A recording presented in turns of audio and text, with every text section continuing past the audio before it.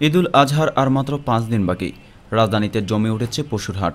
বাজারে বেচাকেনা না থাকলেও দেশের রেকর্ড গড়া দামে বিক্রি হয়েছে বস নামের গরুটি। এটি বিক্রি হয়েছে সাতত্রিশ লাখ টাকায়। মালিকের দাবি, বাংলাদেশের ইতিহাসে এর চেয়ে বেশি দামে আর কখনও কোনো গরু বিক্রি হয়নি। এটি এবার রেকর্ড গড়ল। এবার ঈদের সবচেয়ে বেশি দামের পশু বস গরু ক্রয় করেছে ইসলাম গার্মেন্টসের মালিক শাকির আহমেদ। তিনি Dhaka, Uttara city corporation mayor Atiqul ইসলামের ভাতিজা।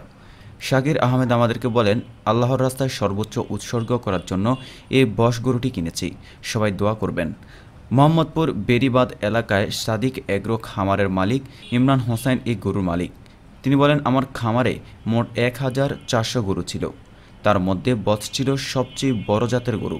এতে মাংস হবে এক হাজার চারশো কেজির মতো। এছাড়া তার খামারে আরও বড় ধরনের গরু বিক্রি হয়েছে। তা হলো মেসি সাতাশ লাখ টাকা, টাইটানিক সতেরো লাখ পঞ্চাশ হাজার টাকা।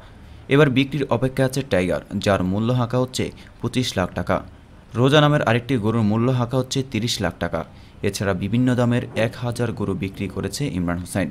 ইমরান হোসেন আরও বলেন, এবারের ঈদের জন্য আমার খামারে এক হাজার চারশো গরু প্রস্তুত করেছি। তার মধ্যে এক হাজার গরু ইতিমধ্যে বিক্রি হয়ে গেছে।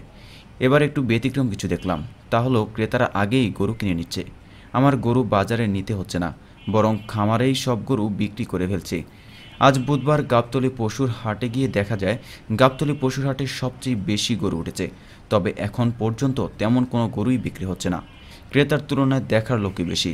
হাটের মাঝখানে রাখা হয়েছে বড় বড় গরু। এর মধ্যে ঝিনাইদহ থেকে এসেছে যুবরাজ ও রবি। এ দুটি গরু দেখতে গাবতলীর হাটে ভিড় জমাচ্ছে শত শত মানুষ। দেখতে আসা সাধারণ মানুষ গরু দেখে বিভিন্ন মন্তব্য করছে। অনেক কিশোর বিভিন্নভাবে দাঁড়িয়ে এসব গরুর সঙ্গে মুঠোফোনে সেলফি তুলছে।